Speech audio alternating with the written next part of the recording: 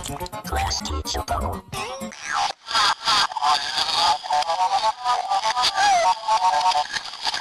Nickelodeon has a classy error.